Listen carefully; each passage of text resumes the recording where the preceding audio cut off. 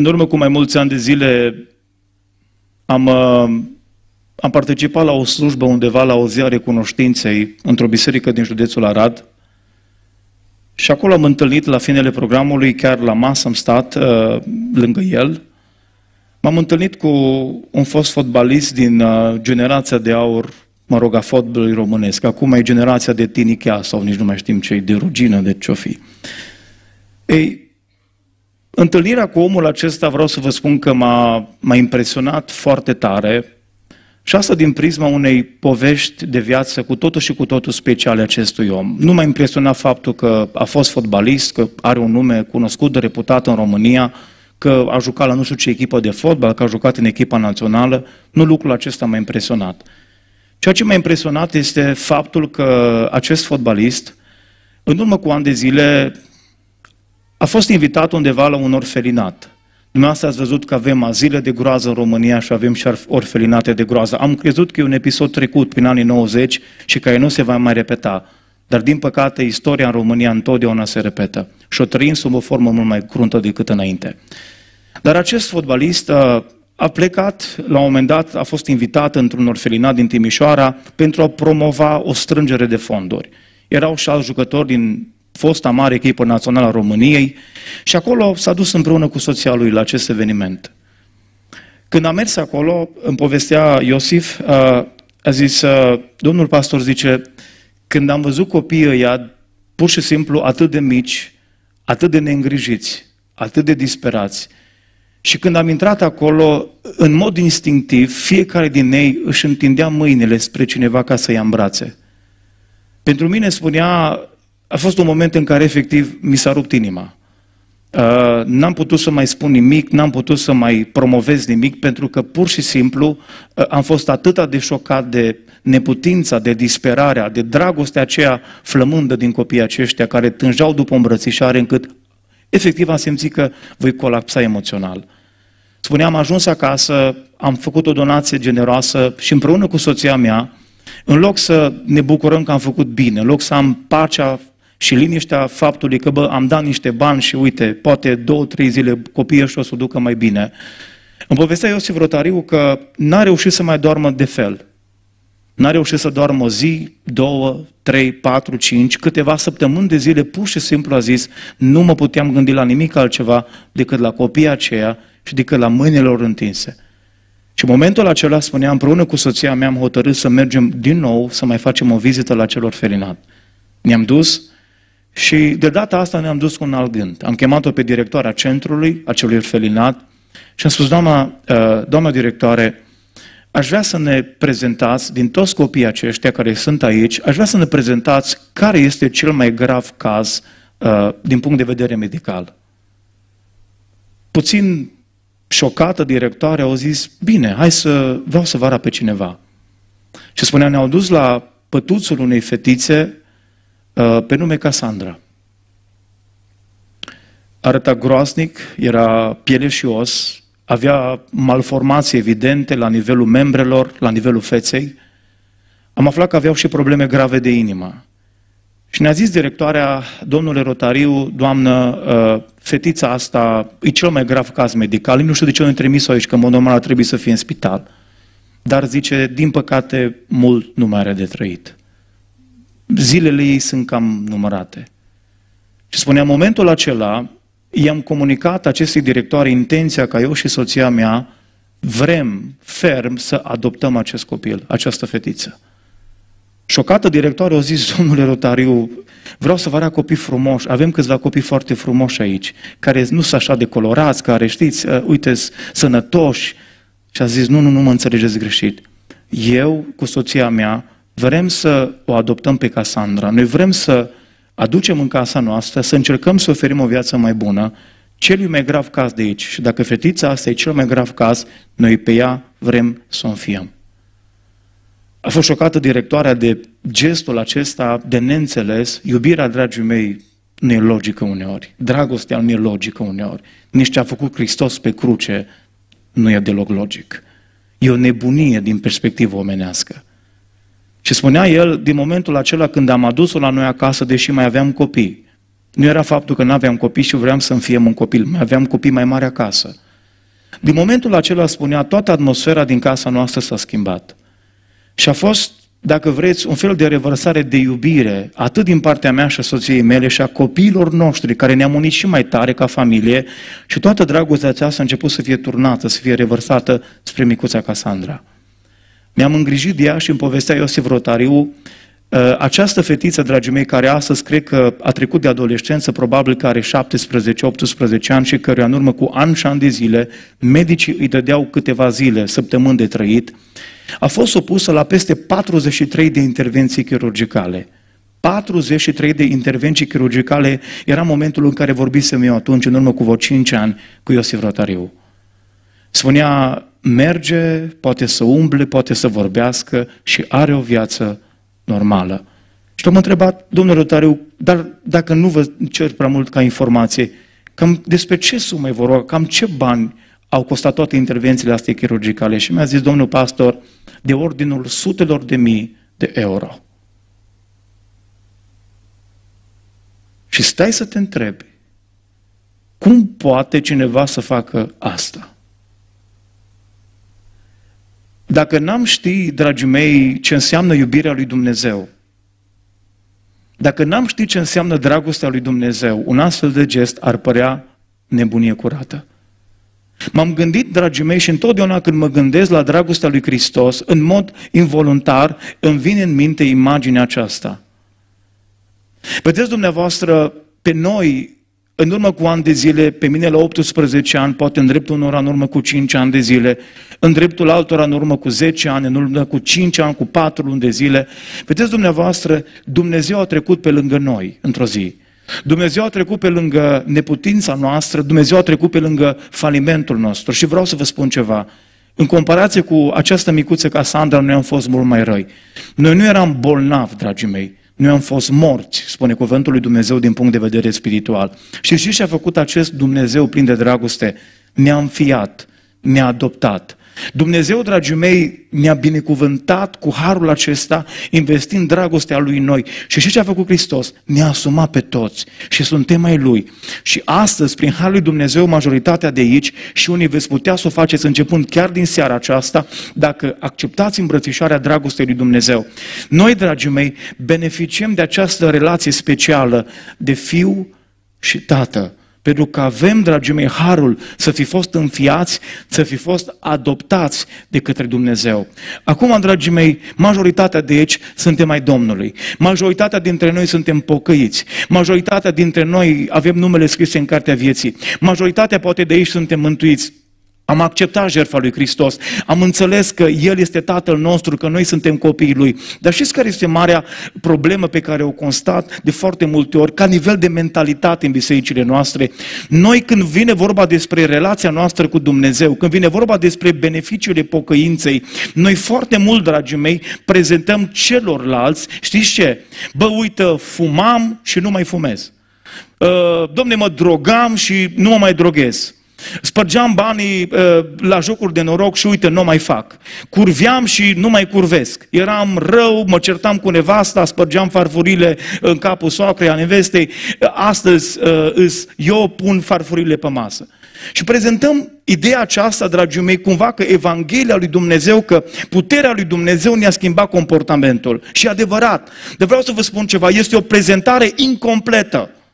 Și problema este că imaginea e la nivelul minții noastre incompletă și în momentul în care o prezentăm altora este o imagine incompletă. Pentru că vreau să vă spun ceva, oameni buni, întâlnirea cu Hristos, pocăința, vreau să vă spun ceva, nu doar că ne schimbă comportamentul, dragii mei, că făceam și nu mai facem, dar întâlnirea asta cu Isus Hristos ne schimbă identitatea ne schimbă identitatea, dragii mei. Noi suntem copii ai lui Dumnezeu. Și vreau să vă spun ceva, mai mult decât comportamentul, dragii mei, trebuie să fundamentăm ideea de identitate. Și noi prea puțin și prea rar se vorbește la noi astăzi în mediul evanghelic și prezentăm, dacă vreți, un fel de evanghelie incompletă. Pentru că Hristos, când te întâlnești cu El și când intră în viața ta, când Dumnezeu te adoptă, când Dumnezeu te înfiază. Și spune Apostolul Pavel că noi n-am primit un duc de robie care, ne, care să mai avem frică, ci noi am primit un duc de adopție, de înfiere care ne face să strigăm cum? Ava, adică tată. Adică am îndrăzneală. Știți de ce? Am îndrăzneală, dragii mei, nu pentru că am fost bun săptămâna asta, că am citit patru capitole din Biblie, că am postit două zile pe săptămână. Nu asta îmi dă mie îndrăzneală să vin în fața lui Dumnezeu. Știți ce îmi dă îndrăzneală să vin înainte lui Dumnezeu? Faptul că am pe cineva căruia eu, păcătosul, pot să-i spun tată. Și asta înseamnă identitate. De foarte multe ori în 1 Ioan, dragii mei, abundă este un cuvânt care se repetă parcă obsesiv la Ioan, copilașilor, copilașilor, copilașilor. Este limbajul Tatălui, e limbajul iubirii prin care Dumnezeu ne spune, uitați cine sunteți voi. Și Ioan, dragii mei, ne reamintește mereu și mereu și mereu, mai mult decât partea comportamentală, Ioan accentuează partea de identitate. Noi suntem al lui Dumnezeu, noi suntem copiii lui Dumnezeu și spune, copilașilor, Asta este identitatea noastră, dragii mei. Și în momentul în care Dumnezeu este tatăl meu, iar eu sunt copilul lui, înseamnă că am o relație. Dar în această seară, dragii mei, vreau să vă ne uităm în cuvântul Domnului și să vedem cum influențează relația mea cu Dumnezeu toate celelalte relații pe care le am cu ceilalți. Relația care îmi schimbă relațiile. Vreau să vă spun ceva. Dacă te-ai botezat în urmă cu jumate de an și relațiile tale cu ceilalți sunt neschimbate, dăm voie să spun că nu prea cred că tu ai o relație personală cu Dumnezeu. Și știți de ce? Pocăința, nașterea din nou, primirea lui Hristos ca Domn și Mântuitor în viața ta e ca o tornadă în relațiile tale. Știți ce face? Îți schimbă definitiv și iremediabil toate relațiile cu cei din jurul tău. Și o să vedem în această seară faptul că această relație ne schimbă relațiile. Relația cu El ne schimbă relațiile cu ei. Și primul aspect pe care vreau să subliniez aici, dragii mei, este că această relație cu Dumnezeu, relația de fiu-tată, ascultați-mă, îmi schimbă relația în care mă aflu cu stăpânitorul acestei lumi. Și știm bine la cine ne referim aici. Ascultă-mă, când Dumnezeu e tatăl meu și eu sunt copilul lui, raportul meu, relația în care eu uh, mă găsesc astăzi cu cel rău, care temporar stăpânește lumea. S-a schimbat. Spune cuvântul lui Dumnezeu aici, vorbește despre copiii ai diavolului și copiii lui Dumnezeu. Știți care este cuvântul cheie? Știți care este cuvântul cheie din prisma relației mele cu Dumnezeu în raport cu cel rău, în raport cu relația pe care o am cu cel rău? Biruință. Spune cuvântul lui Dumnezeu și mai clar decât în textul pe care l-am citit cu un capitol anterior, spune cuvântul lui Dumnezeu așa, versetele 13 și 14. Vă scriu părinților, fiindcă ați cunoscut pe Cel ce este de la început. Vă scriu tinerilor, fiindcă ce ați făcut? Ați luat-o în freză. Vă bătut vă cu praf. 3-0, ca Național România ați luat-o iară așa seară. Nu. Vă scriu tinerilor, fiindcă ați biruit pe cel rău. V-am scris copilașilor, fiindcă ați cunoscut pe Tatăl. V-am scris părinților, fiindcă ați cunoscut pe Cel ce este de la început. V-am scris tinerilor, fiindcă sunteți stari și cuvântul lui Dumnezeu rămâne în voi. Și ce ați făcut? Ați biruit pe Cel rău. Relația care îmi schimbă relațiile.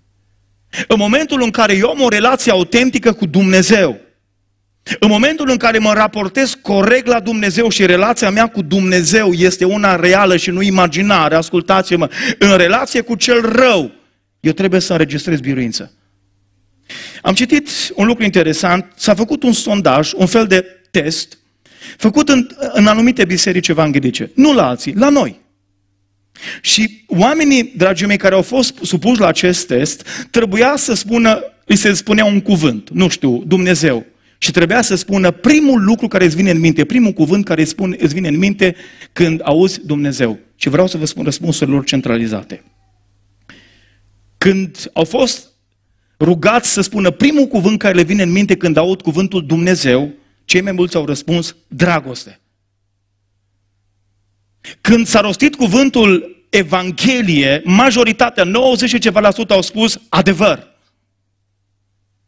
Când li s-a rostit cuvântul Golgota, majoritatea au spus sacrificiu, jerfă. Când s-a rostit cuvântul rai, care e primul cuvânt care îți vine în minte? Dorința. Dar când a fost rostit cuvântul Satan, 95% au răspuns frică. Frică. Pentru că, dragii mei, dacă nu-ți cunoști identitatea, dacă nu-ți asumi identitatea, dacă nu trăiești această identitate, vei avea frică. Însă ceea ce vreau să înțelegi în această zi, nu percepțiile trebuie să-ți dicteze comportamentul, ci adevărul te face slobod. Și, dragii mei, relația cu Dumnezeu, ascultați-mă, ne aduce ca în relația cu cel rău să avem biruință. Hristos l-a biruit pe cel rău și ne spune cuvântul lui Dumnezeu că și noi trebuie să-l biruim. Și asta, dragii mei, nu e ceva, un wish list la care trebuie să ajung peste 40 de ani. Nu, nu, nu. E ceva ce se întâmplă astăzi.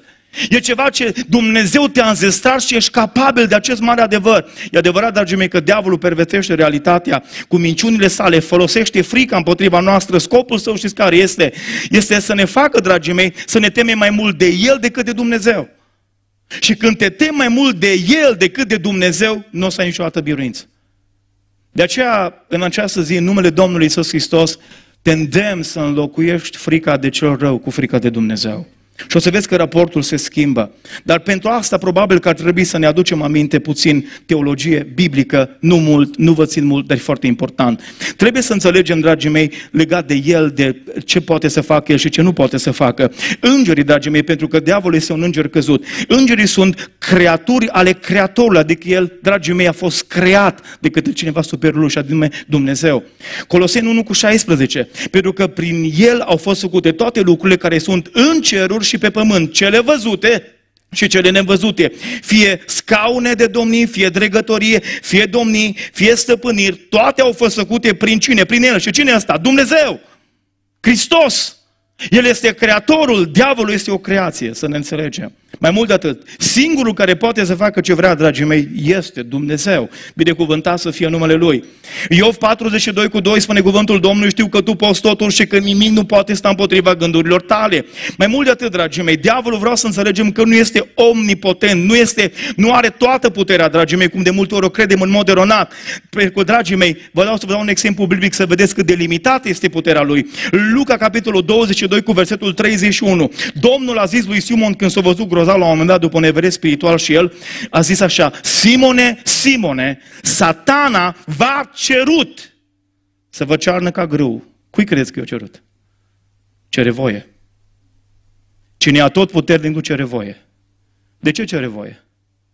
De ce spune uh, în dreptul lui Iov, lasă-mă să mă ating? Cui spune asta? Celui ce este deasupra lui celui ce este deasupra tuturor lucrurilor și care este unul singur. Dumnezeu binecuvântat să fie numele Lui. Mai mult de atât, dragii mei, când este mustrat, tace. Spune cuvântul lui Dumnezeu în Zaharia 3 cu 1 la 2, El, îngerul, mi-a arătat pe marele preot Iosua stând în picioare înaintea îngerului Domnului și pe satana stând la dreapta lui ca să facă meseria lui, să-l părască. Cred că asta e cea mai mare armă pe care o reușit să o implementeze în România, pâra.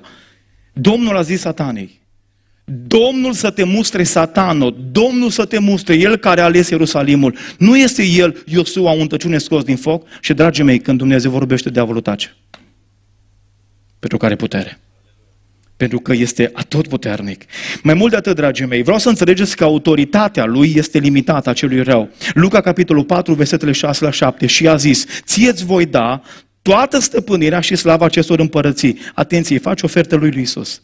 Diavolul îi face ofertă lui Isus pe muntele ispitirilor. Dar auziți, căci mie îmi este cum? Dată. Nu cu am. Îmi este dată. Și, dragii mei, nu are de la el, ci este dată temporar, provizoriu.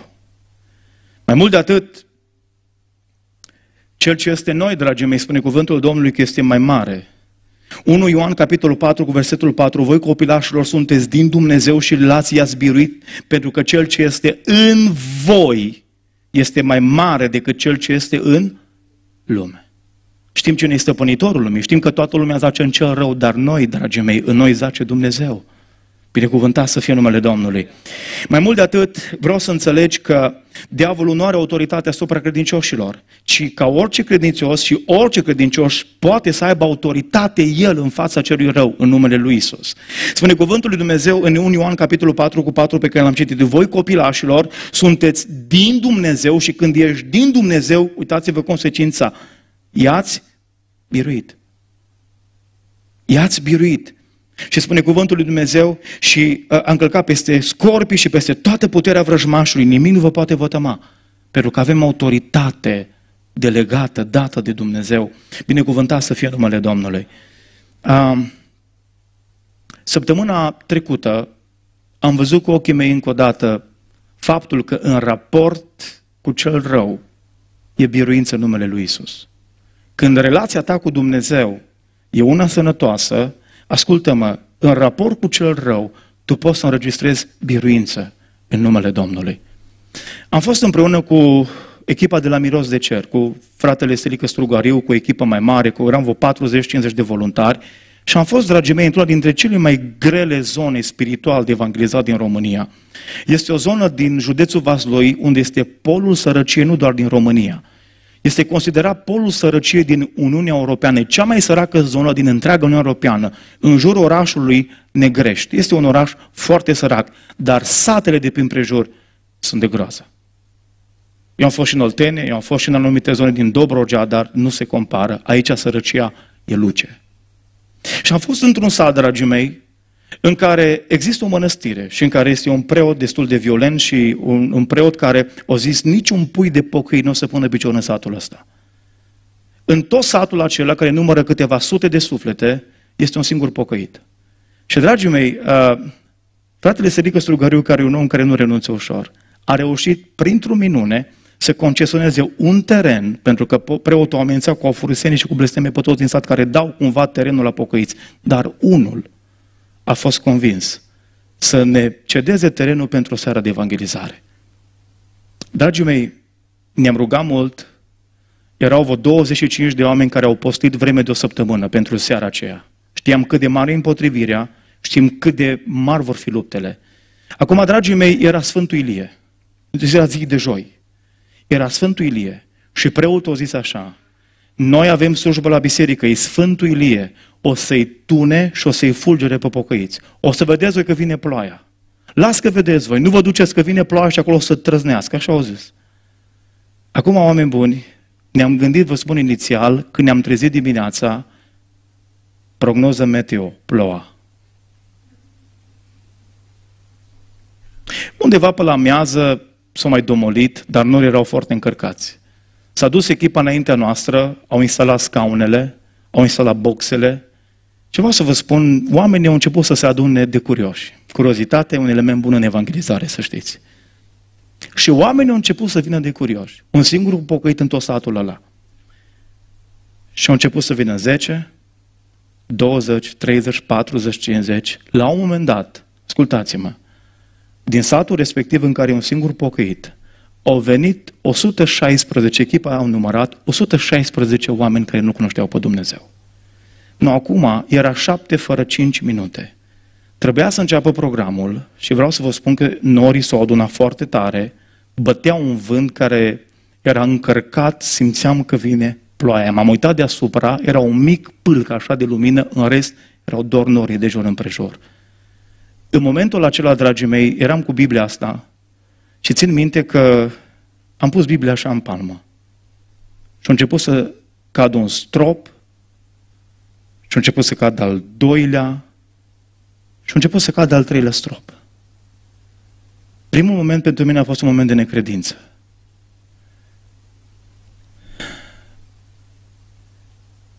Toată echipa a început să se roage.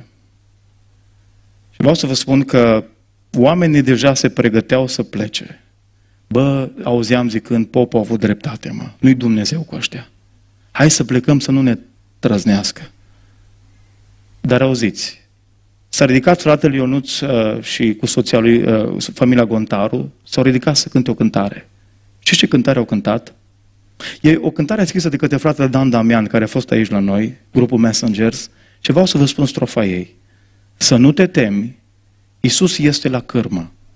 El nu mai doarme, veghează Dumnezeu. El ceartă vântul și valul din furtună. Taci fără gură, vorbește Dumnezeu. Imediat, în mod instantaneu, dragii mei, mi-am, m-am gândit la episodul de pe mare, Iisus cu ucenicii. Dragii mei, e momentul în care se ridică valurile și vine vântul puternic. Vă aduceți aminte ce făcea Iisus? Dormea. Ce fac ucenicii? Îți speriați. Îl scutură pe Iisus, învățătorile nu-ți pasă că pierim. Ce face Iisus? Se ridică și spune Biblia că ce, fa- ce a făcut Domnul? Spune Biblia că a zis, Marcu 44 cu 39, el s-a sculat, a certat vântul și a zis mării, taci fără gură. Vântul a stat și s-a făcut o liniște mare. Dar acum întrebarea este, unde mergeau ei? Știți unde mergeau? În Gadara. Cine îi aștepta în Gadara? Un om și trei mii de demoni. Deci vântul și furtuna în contextul ăla nu e ceva natural. E ceva în spate. Dragii mei, când au început să cânte oamenii ăștia cântarea asta, vreau să vă spun, s-a întâmplat o minune, vă pot confirma oamenii care sunt acolo. Efectiv, când a început strofa asta, taci fără gură, vorbește Dumnezeu. Eu am asistat la un miracol împreună cu vreo 140 de oameni, 50 cu toată echipa, că am fost acolo, împreună cu prietenii. S-a oprit vântul dintr-o dată și vreau să vă spun, n-a mai căzut un strop de ploaie. Și în acea seară, aproximativ 26 de oameni au venit în față, s-au prăbușit cu fața la pământ și au strigat că au nevoie de Dumnezeu și ne-am rugat pentru ei. Pentru că, oameni buni, vreau să vă spun ceva. Când relația cu Dumnezeu e ce trebuie, în relația cu cel rău vei înregistra, ascultă-mă, biruință în numele Domnului Isus Hristos. De la frică nu uita, există biruință. Uh, ăsta e cuvântul cheie. Mai apoi, dragii mei, relația care îmi schimbă relațiile. Îmi schimbă mai apoi nu doar relația cu, stă, cu stăpânitorul lumea acesteia, așa nume, că nu mai mai iau în freză cum mi-am luat înainte și că eram un învin de serviciu și că mi-era frică și că mi-era groază și de umbra mea. Dar încep să experimentez biruință în numele lui Isus Hristos. Dar mai mult de atât, dragii mei, relația cu Dumnezeu îmi schimbă relațiile și îmi schimbă o altă relație, îmi schimbă relația mai apoi în al doilea rând în care mă aflu cu oamenii din lume. Pentru că, dragii mei, spune cuvântul lui Dumnezeu, uitați-vă în versetul 13, în textul pe care l-am citit. Auziți, la ce să te aștepți? Ăsta e cuvântul cheie.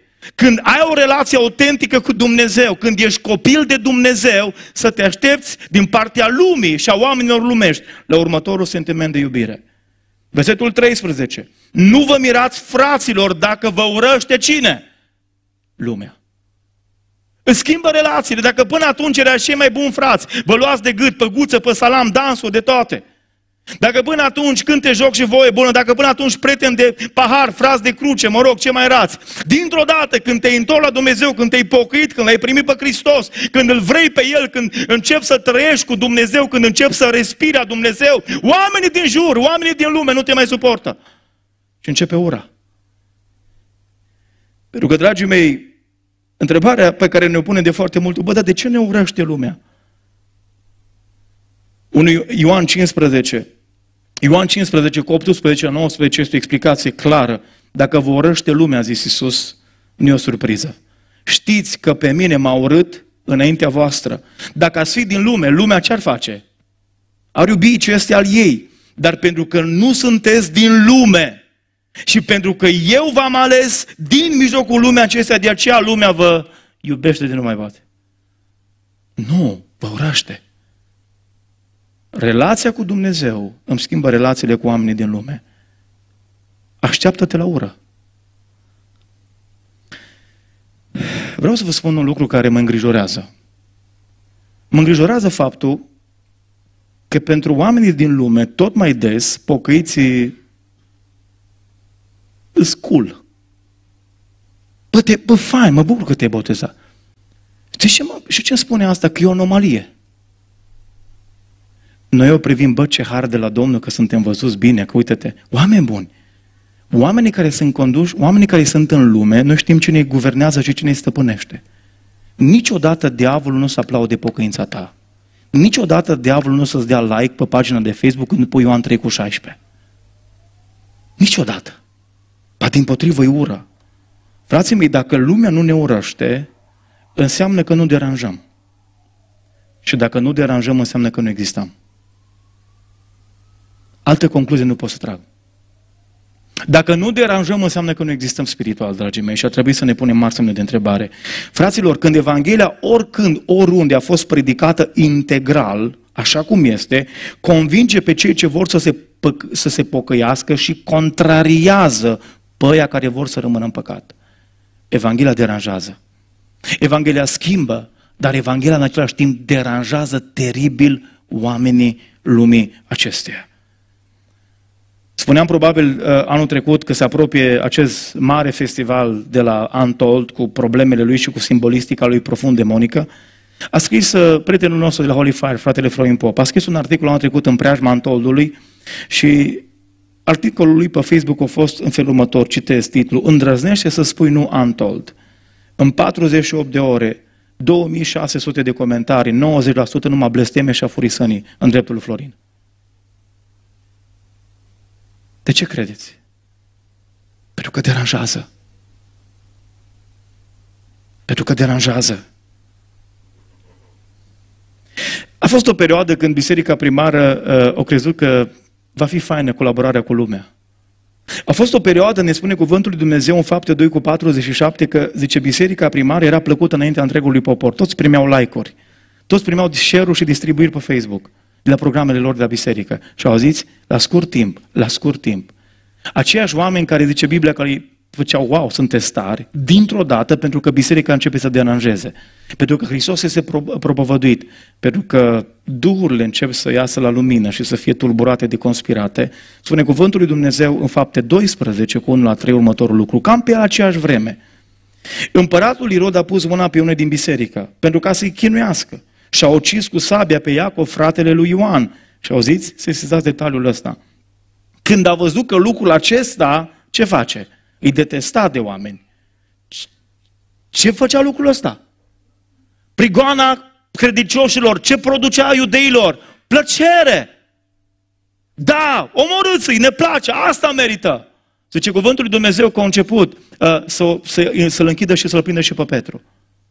Pentru că oameni buni din valul popularității în valul prigoanei, foarte scurtă diferența. De fapt, dragii mei, în fond și la urma urmei, adevărul este că în momentul în care ai o relație sănătoasă cu Dumnezeu, n-ai cum să ai o relație sănătoasă cu lumea. N-ai cum să fii iubit de lume în timp ce tu iubești pe Dumnezeu, pentru că lumea urăște tot ce înseamnă Dumnezeu. De aceea biserica, dragii mei, nu trebuie să se lupte să fie acceptată de lume, ci biserica trebuie să se lupte, și am mai spus-o aici, ca lumea să-L accepte pe Hristos, ca oamenii să se pocăiască, pentru că este singura soluție și Dumnezeu să ne ajute la asta. Binecuvântat să fie numele Domnului. Relația care îmi schimbă celelalte relații, dacă vreți. Îmi schimbă mai apoi nu doar relația în care, pe care o am uh, uh, față de cel rău, și anume cu stăpânitorul lumea acesteia, și încep să am biruință. Nu doar relația, dragii mei, pe care o am cu lumea aceasta și cu oamenii îndoctrinați în sistemul de valori lumesc. Și aici sunt te aștepți la ură, ăsta e cuvântul cheie. Dar mai apoi, această relație care îmi schimbă relația, relația cu Dumnezeu, dragii mei, îmi schimbă relația în care mă aflu cu cei ce au ieșit din lume. Și ăștia spocăiți, frații noștri, zicem noi. Ei, avem aici un Ioan, capitolul 3, cu versetul 11, spune cuvântul lui Dumnezeu în felul următor. Căci vestirea pe care ați auzit-o de la început este aceasta, să ne iubim unii pe alții și este vorba despre frățietate, dragii mei. Mai mult de atât, uitați-vă versetele 14, noi știm că am trecut din moarte la viață pentru că iubim pe frați și cine nu iubește pe fratele său rămâne în moarte. Și, dragii mei, care este cuvântul cheie în relația dintre, dintre oamenii lui Dumnezeu, dintre copiii lui Dumnezeu? Știți care este cuvântul cheie? Dacă cuvântul cheie în raport cu lumea și cu oamenii lumești este ura, în raport, dragii mei, cu copiii lui Dumnezeu, cu frații în credință, este dragostea. Ăsta este cuvântul cheie aici, dragostea. Dragii mei, dragostea presupune să fie încadată într-o zonă relațională înseamnă reciprocitate. Iubiți-vă unii pe alții, cum am iubit și eu pe voi. Înseamnă, dragii mei, să fie o reciprocitate în direcția asta. Dar uitați-vă, versetul 17, iubirea asta nu trebuie numai declarată. Iubirea asta trebuie demonstrată practic. În versetul 17 spune cuvântul lui Dumnezeu, dar cine are bogățiile lumii acesteia și vede pe cine? Vede pe fratele său în nevoie și își închide inima față de el. Cum rămâne el în dragostea lui Dumnezeu? Imposibil. Iubirea aceasta față de, față de ceea ce iubește Dumnezeu, iubirea față de frații tăi de credință trebuie demonstrată, trebuie dovedită. Nu numai cu vorba, ci și cu portofelul ci și cu o zi de muncă, ci, dragii mei, și cu o vizită la casa văduvei și a orfanului. Iubirea asta trebuie dovedită. A fost bombardat, în timpul celor de-al doilea război mondial, a fost bombardată un oraș din Germania. Și în fața bisericii care a fost ruinată de, de un proiectil care a căzut peste piața centrală, era o statuie a lui Hristos. Și în timpul acestei explozii, dragii mei, mâinile mâinile amândouă în zona aceasta al acelei statui au fost fărâmate. S-a terminat războiul și s-au hotărât cei din oraș să refacă orașul, să restaureze orașul și au ajuns la statuia aceea care era în fața bisericii. Și a venit cei de la Consiliul uh, de Renovare, pentru că era monument istoric, dar a venit un preot, preotul acelei parohii. Și a zis, domnilor, vă rog să lăsați statuia așa cum este. Pe cum adică? Cum adică e profanată? Iisus fără mâini? Nu se poate. Lăsați-o așa cum este. Pe cum adică? De fapt, imaginea asta a lui Hristos fără mâini, spunea el, este o imagine pe care oamenii trebuie să înțeleagă. Noi nu mai punem mâini lui Hristos pentru că El le-a folosit în urmă cu 2000 de ani la Golgota. Dar vreau să transmit celor care vin la biserică că astăzi, aici, pe pământ, noi trebuie să fim mâinile lui Hristos. Așa că nu puneți nici o mână, nici în stânga și nici în dreapta, lăsați-le, pentru că asta e o predică. Statuia asta trebuie să fie o predică pentru oameni. Dragii mei, noi suntem extensia iubirii lui Dumnezeu. Noi suntem mâinile lui Dumnezeu pe acest pământ. Și trebuie să ne manifestăm dragostea sacrificială față de oameni. În 1 Petru, capitolul 4, cu versetul 8 la 10, găsesc, dragii mei, o, o, o schematizare foarte frumoasă pe care vreau să vă prezint foarte scurt. Știți, avem trasate aici, în 1 Petru 4 cu 8 la 10, și dacă aveți Biblia, vă rog să urmăriți acolo, avem trasate patru moduri prin care ne putem întreține o relație biblică cu frații noștri. În primul rând, iubindu-i. Și ce spune acolo Petru? Mai presus de toate, să aveți o dragoste fierbinte unii față de alții, iubindu-i. Apoi, uh, iertându-i, spune că și dragostea acoperă o sumedenie de păcate. Mai apoi, trei, invitându-i, fiți primitori de oaspeți între voi fără cârtire. Patru, slujindu-i, fiecare să slujească altora după darul pe care l-a primit de la Dumnezeu. Ajută-ne Domnul la asta, dragii mei. Asta este raportul în care eu trebuie să mă găsesc cu frații mei. Iubește-i. Iubește-ți frații. Iartă-i dacă ți-au greșit. Invite la tine. Slujește-i. Slujește-i cu dragoste. Prețuiește-i. În raport, în relația mea cu frații mei în credință, trebuie să fie dominată de dragoste. Trebuie să fie dominată de slujire, de iubire, de iertare. Dumnezeu să ne ajute la asta, dragii mei. Aduceți aminte de Saul din Tars? Habar n-avea cine Hristos. Prigonea creștinii pe unde îi pridea, îi bătea, îi arunca în temnițe, nenorocea. Se duce, spune Biblia, spre Damasc cu scrisori de recomandare de la marele preot, dar pe drum se întâlnește cu adevăratul mare preot, cu Isus Hristos și cade la picioarele lui. Acum, dragii mei, când Pavel s-a dus spre Damasc, a vrut să pună mâna pe credincioși, pe creștini. A vrut să-i prindă, să-i bage în, în pușcărie, să-i ducă la Ierusalim. Numai că, dragii mei, se întâlnește cu Hristos, se prăbușește cu fața la pământ, Dumnezeu îi schimbă viața și auziți, ajunge, spune cuvântul lui Dumnezeu la un moment dat, în proximitate cu Anania. Când Pavel s-a dus spre Damasc, pe cine credeți că a vrut să pună mâna neapărat? O să că mai scăpăm doi, trei din biserică, nu, dar pe Anania, pe ăla trebuie pus mâna, că ăla e liderul lor, ăla este omul pe care îi conduce. Și ce mi se pare fabulos în toată scena aceea? Se întâlnește Pavel, și cu Anania.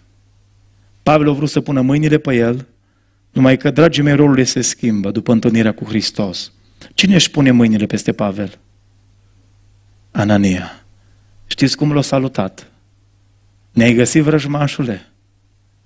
Nu vezi că Dumnezeu nu doarme, Saul? Ți-am zis să te pocăiești, ți-am spus să nu ne mai urmărești, ai văzut ce mare e Domnul?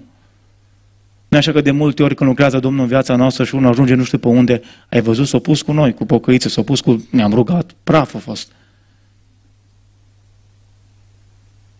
Ce au zis? Știți care au fost primele două cuvinte care le-au adresat în istoria lor frumoasă mai apoi? I-au zis Anania lui Pavel. Dar stați liniștit că l-a pregătit Domnul înainte, că el nu a vrut. El a zis, Doamne, dar la ăla, tu știi cine e ăla, tu știi ce a făcut? Știu, știu, du-te și, du-te și roagă-te pentru el să-și capete vederea. Și au zis ce îi spune? Frate Saule. Wow! Frate Saule. De ce? Pentru că, dragii mei, când suntem mai lui, nu mai e loc de ură. E părtășie, e dragoste, e iubire, e Dumnezeu. Ajută-ne Domnul asta. Dar mai există mai apoi o a, treia, uh, o a patra relație care o schimbă relația cu Dumnezeu. Relația, am spus, tată, fiu, care îmi schimbă relațiile. Îmi schimbă relația, dragii mei, cu stăpânitorul lumea acesteia, temporar, că mult timp nu mai are, stați liniștiți. Când scurtă vreme va veni cel ce vine. Și spune Biblia, în scurtă vreme, zice, îl veți călca pe cel rău sub picioarele voastre. Mai mult de atât, dragii mei, în, în raport cu, cu, cu lumea și cu oamenii din lume, dragii mei, ne spune Cuvântul Lui Dumnezeu că, că trebuie să te aștepți la ură și nu e o surpriză asta.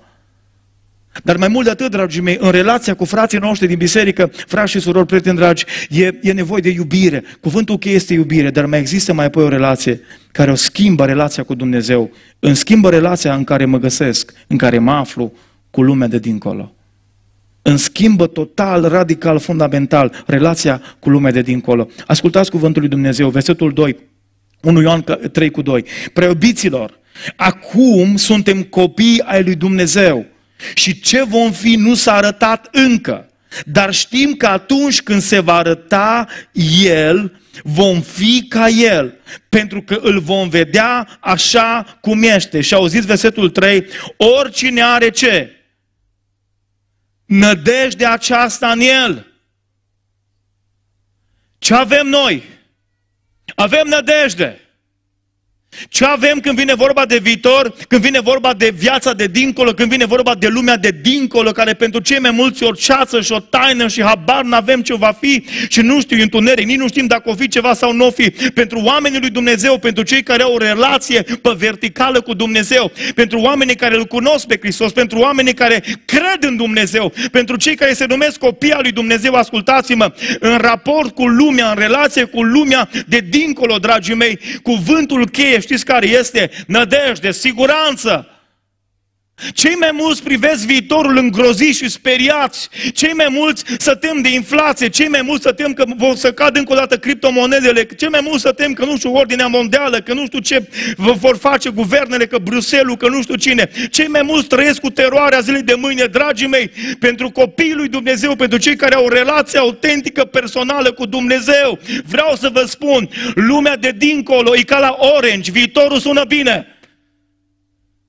Vă dau o veste bună, viitorul sună bine. Știți de ce? Pentru că spre deosebire de lume, spre deosebire de oameni aceștia care trăiesc pentru plăceri de o clipă ale păcatului, pentru noi, dragii mei, viitorul nu în ceață. Pentru noi ce se întâmplă după moarte nu e o surpriză. Pentru noi, dragii mei, viitorul, lumea de dincolo este o certitudine. Pentru că, dragii mei, spune omul acesta și ce, va, și ce vom fi nu s-a arătat încă, dar știm că vine Domnul, dar știm că vine Isus, dar știm că îl vom vedea față în față și va fi o zi minunată și va fi o zi absolut glorioasă. Știm asta și pentru asta noi avem nădejde și pentru asta noi avem credință în Dumnezeu. Binecuvântat să fie numele Domnului. Creștinismul începe, știți unde cu adevărat? Creștinismul începe cu adevărat acolo unde se termină toate celelalte religii, la mormânt. De-abia de acolo începe viața. De-abia de acolo începe, dragii mei, dimensiunea veșnică și eternă. Și uitați-vă, 2 Corinteni, capitolul 5, cu versetele 1 la 10, vreau să sintetizez ce spune acolo Apostolul Pavel, prin credință sunt niște cuvinte absolut fascinante pe care vreau să le citim în această zi. 2 Corinteni, capitolul 5, auziți? Pe, din perspectiva lui Pavel, un om care a fost, apropo, până în cer, că știe ce vorbește, nu ca unii care și-au închipit că au fost pe acolo, ăsta chiar au fost în cer. Și spune cuvântul lui Dumnezeu din perspectiva Paului, auziți? 2 Corinteni, capitolul 5. Și ce zice Pavel? Zice Pavel, fraților, știți ce e moartea? Moartea e o realitate. Acum Pavel e adevărat că știm și vedem și noi asta. 2 Corinteni, capitolul 5, cu versetul 1. Știm în adevăr că dacă se desface casa pământească a coltului nostru trupesc, da, să desface, asta înseamnă metafora morții, despățire, suflet de duh, de trup. Bun. Dar mai mult de atât, dragii mei, nu numai că moartea e o realitate, zice Pavel, învierea este o realitate.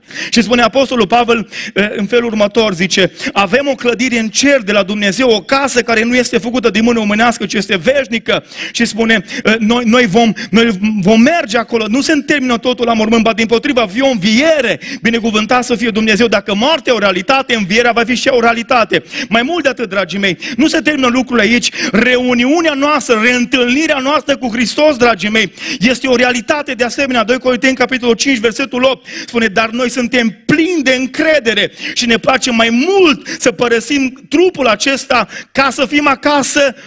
Unde? La Domnul! Cine ne așteaptă acolo? Domnul! Întâlnirea mea cu Hristos, dragii mei, într-o altă dimensiune. Dacă acum, dragii mei, îl vedem prin ochii credinței, va veni o zi în care spune cuvântul lui Dumnezeu că orice ochi îl va vedea și îl vom vedea pe Iisus Hristos. Pentru că, dragii mei, numai moarte o realitate, dar învierea este o realitate. Întâlnirea cu Hristos mai apoi este o realitate, este o certitudine.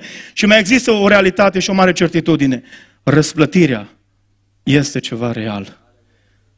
Spune versetul 10 că toți trebuie să ne înfățișăm înaintea scaunului de judecată al lui Hristos, pentru ca fiecare să-și primească răsplata după binele sau răul pe care va fi făcut când trăia în trop. Răsplata e o certitudine.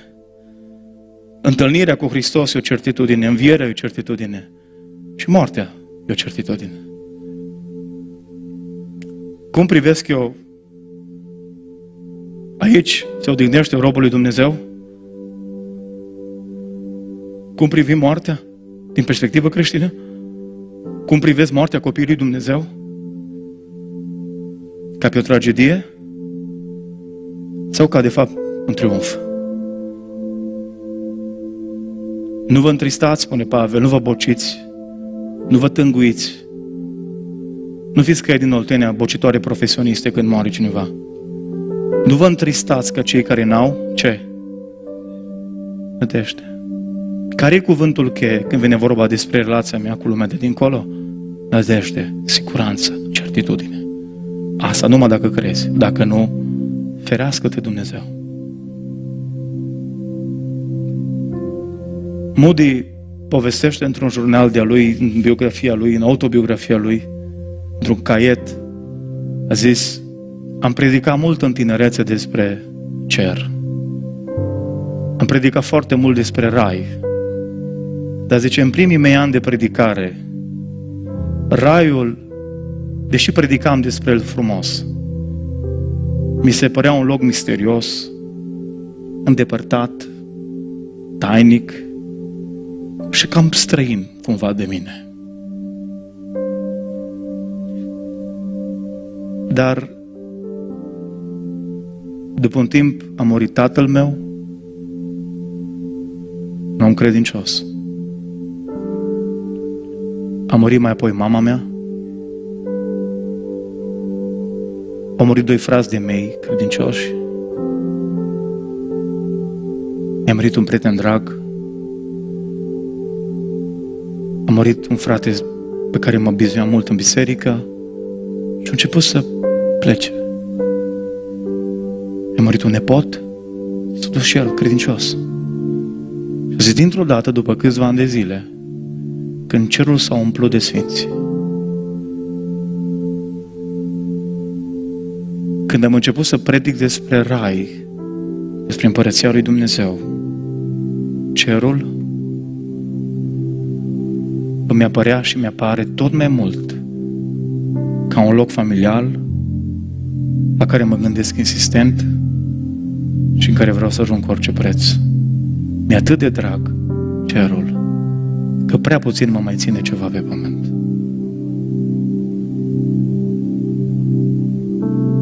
Pentru că avem o siguranță. Pentru că avem o certitudine. Relația îmi schimbă toate celelalte relații.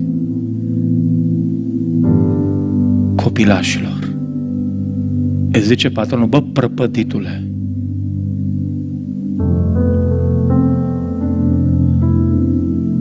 ajunge acasă și probabil că te cătrănește și nevastă o leacă.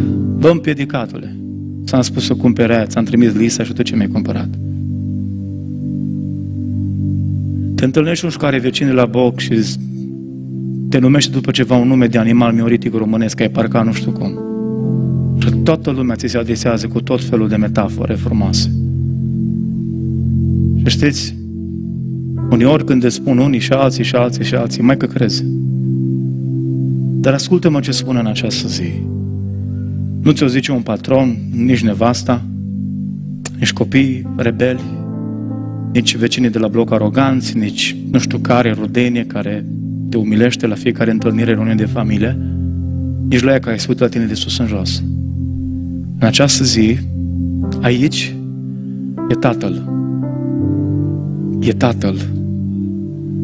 Și știți cum ți se adresează Tatăl? Copilul meu. Tu ești copilul meu. Și nimeni și nimic nu poate schimba asta. Relația cu El schimbă toate relațiile cu ceilalți. Dumnezeu e Tată. Atâția ani. Pentru că m-am format într-un anumit mod bisericesc, atâția ani am încercat să-L îmbunez eu pe Dumnezeu. Multă vreme l-am slujit pe Dumnezeu cu mentalitate de rob. Avem impresia că trebuie să prestezi anumite predici, anumite rugăciuni, să bifezi anumite zile de post. Așa am avut impresia multă vreme, vă mărturisesc. L-am slujit multă vreme pe Dumnezeu cu o mentalitate de rob. Problema știți care este? Că robul, când e doar rob, în raport cu stăpânul, acumulează frustrare și tensiune. Și spune cuvântul lui Dumnezeu într-unul din psalm că zice cum se uită mâna, cum se uită ochiul robului la ce? Doamne, nu poți să-mi dai niște bani, că am datorii. Nu poți să-mi dai, Doamne, sănătate. Nu poți să-mi dai pace, nu poți să-mi dai liniște. La ce ne uităm noi ca robi? Când doar îl vedem pe Dumnezeu din perspectivă de rob. Știți la ce ne uităm? La mâna lui stăpânului. Dar ascultă-mă, Dumnezeu zice, ascultă-mă bine, tu nu ești numai rob. Mi-a trebuit mult să înțeleg asta și mulțumesc lui Dumnezeu. Atât de șocant a fost tranziția asta când am descoperit pe Dumnezeu nu doar ca rob, rămân, sunt rob al Domnului. Dar în același timp am înțeles că sunt și copil de Dumnezeu. Sunt copil de Dumnezeu. Și am în mine Duhul Lui care e un duc de adopție, de înfiere. Glorie Domnului! Nu ți-e dor să vorbești cu tatăl tău astăzi? Nu ți-e dor să stai de vorbă cu tatăl tău, cu Dumnezeu? N-ai vrea să-ți înțelegi relația cu El astăzi? Și de ce ești praf în relația cu diavolul? Și de ce te bate, îți dă tot 3 și 4-0 și ți o încasezi rău de tot? Ca la tenis, numai 6-0, 6-1, 6-2 Știi de ce? Și de ce te biruiește telefonul? Și de ce te biruiește programul? Și de ce nu mai te las, nu poți renunța la telenovelă? Știi de ce? Și de ce scapă guratul la trei cuvinte, zici ce nu trebuie? Pentru că tu nu ai o relație cu Tatăl puternică. de te bate de nu te vezi. Și tu, pe tine te-o chema Dumnezeu să biruiești. Și de ce sprav relațiile tale? Și de ce sunt prav relațiile tale cu frații de credință? Pentru că tu n-ai înțeles că e vorba de dragoste, nu de competiție. Tu n-ai înțeles că nu e vorba despre cine are voce mai bună în biserică, cine predică mai bine, cine cântă mai bine, cine e mai bun, cine e mai frumos îmbrăcat, cine e mai talentat, cine e mai hăruit, cine are mai multe daruri. Tu înțelegi că nu e vorba despre asta. Dumneavoastră înțelegeți că aici între noi nu e vorba de competiție, ci e vorba despre colaborare și de părtășie. Și de aia acumulăm frustrări. Câte vreme eu îl văd pe celălalt, pe fratele meu, ca un competitor, n-am înțeles, omor, ucid închinare, asta a făcut Cain. O să-ți bă, jertfa lui mai bună ca a mea, îl omor. Sunt atâția caini în bisericile noastre astăzi. Nu trebuie să o omoară fizic, dar ascultă-mă, omoară la nivel de duh. Invidiază. De ce el și nu eu? S-a întrebat și Delia pe vremuri și nu găsi răspunsul, să știți. Oameni buni, vreau să înțelegem în această seară un mare adevăr. Relația cu Dumnezeu îmi schimbă toate relațiile. De ce ești praf în relațiile tale? Pentru că ne au relație sănătoase cu Dumnezeu. Pentru că ne au relație autentică cu Dumnezeu. E vremea să investești și în relația ta cu Tatăl. E vremea să înțelegi că de acolo îți vine puterea. E, trebuie să înțelegi că de acolo vine autoritatea. Și pentru că vei putea să biruiești și vei înțelege că atunci când ai o relație sănătoasă cu Dumnezeu, ăla din lume nu mai poate să te bată pe umăr. Știi de ce? Pentru că o să-L vadă pe Hristos în tine și când îl vede pe Hristos în tine și în vorbele tale, tu nu te mai duci unde merge El. Și zice Biblia, de aceea zice, vă bajocoresc prietenii voștri, ajunge că în trecut a făcut făcut voia neamurilor și a trăit în chefuri, în beții și în slujiri doiești, de aceea ce zic ei ăia cu care erați? De aceea ce zic? Vă jocoresc! Pentru că nu mai ești ca ei! Pentru că nu mai vorbești, pentru că nu mai râzi la glumele lor stupide. Pentru că nu mai admiți faptul ca cineva să înjure numele lui Dumnezeu în prezența ta. Nu mai suporți asta. N-ai cum să tolerezi asta. Și când spui, bă, te rog frumos să te oprești, n-ai dreptul să înjuri ceea ce iubesc eu mai mult. N-ai, nu-ți dau dreptul ăsta. Când îi spui asta, să supără, să te urăște, stai liniștit. Dar tu ai o relație sănătoasă cu Dumnezeu. Haideți să ridicăm o picioare astăzi. Și vreau să ne rugăm Domnului, vreau să-ți întărești în această zi relația cu Dumnezeu. Vreau să te rog și să spui, Doamne, am breș în relațiile cu oamenii, pentru că de fapt n-am înțeles că relația mea cu tine e cea mai importantă, că relația asta îmi schimbă toate celelalte relații. De ce am carențe? De ce am lipsuri în relațiile mele exterioare? De ce mi-e frică de moarte? De ce am atacuri de panică? De ce mă tem că vine sfârșitul lumii? De ce mă tem că vine un nou uragan peste Oradea, să vină Rita și Catrina? Aveți o asigurare. Nici aia nu vă ajută prea mult. De ce? De ce te temi de moarte? De ce te temi de umbra ta? De ce te temi să mergi noaptea pe drum? Vai, să opri becul. Tu l-ai, Doamne, nu acum ce fac? Mă blochez, una, unu, doi, să vină pompierii să mă scoată de aici. De ce? Pentru că e frică. Pentru că diavolul asta face, îți alimentează temele și fricile. Și tu nu înțelegi că de fapt în tine e lumină, că tu ești un felinar, că în jurul tău trebuie să fie lumină, pentru că în tine e cuvântul lui Dumnezeu, pentru că în tine strălucește Hristos. Lasă-L pe Hristos să strălucească prin viața ta și în viața ta. Lasă-L pe Dumnezeu să vindece relațiile tale. Lasă-L pe Dumnezeu să, să, să, să intre în relațiile tale. Lasă-L pe El să-ți conducă, să gestioneze relațiile tale, înțelegi? Dar primul și primul rând în seara aceasta, relația ta cu Dumnezeu, despre asta e vorba. Spune-i Tatălui Dumnezeu, copilașilor,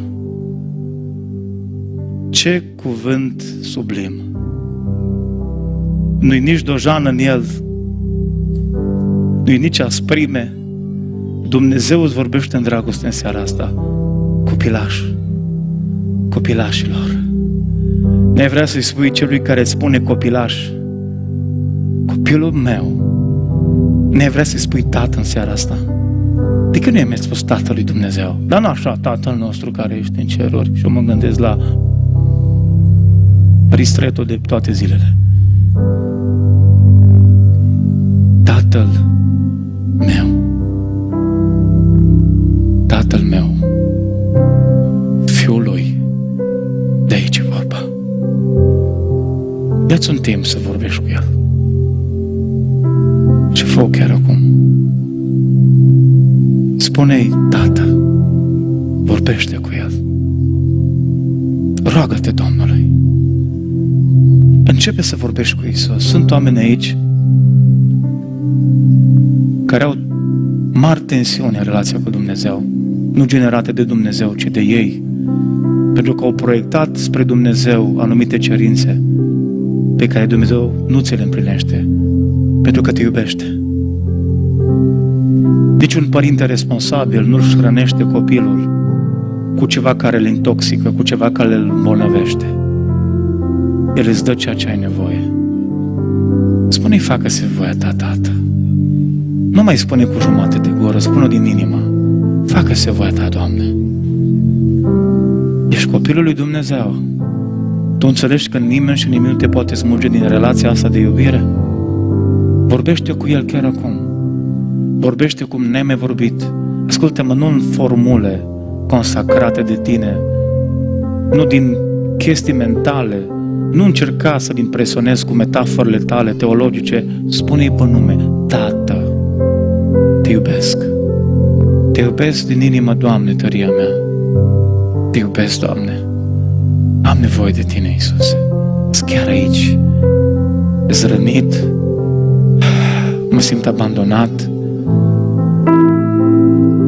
Am fost înfrânt din nou săptămâna asta de gânduri, de pofte, de pornografie, de blestem, de curvie, de droguri, de mass media, de socializare, de rețele de socializare, de violență. Am erupt în mânie din nou, am rostit ce nu trebuia rostit.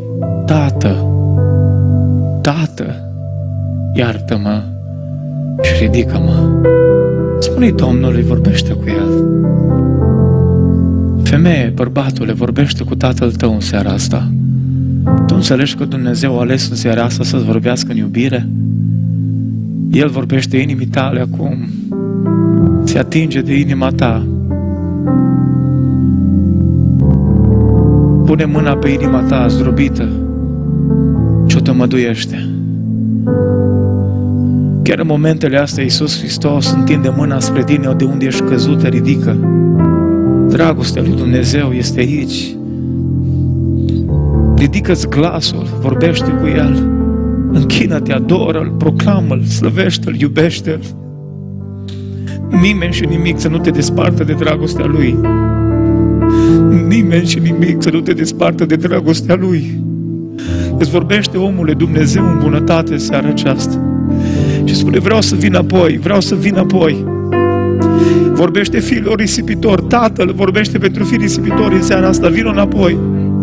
Te aștept acasă. Te aștept în pragul casei de atâta vreme să vii. Te aștept să te întorci din nenorocirile tale. Te cheamă Dumnezeu. Cheamă Dumnezeu fii risipitori.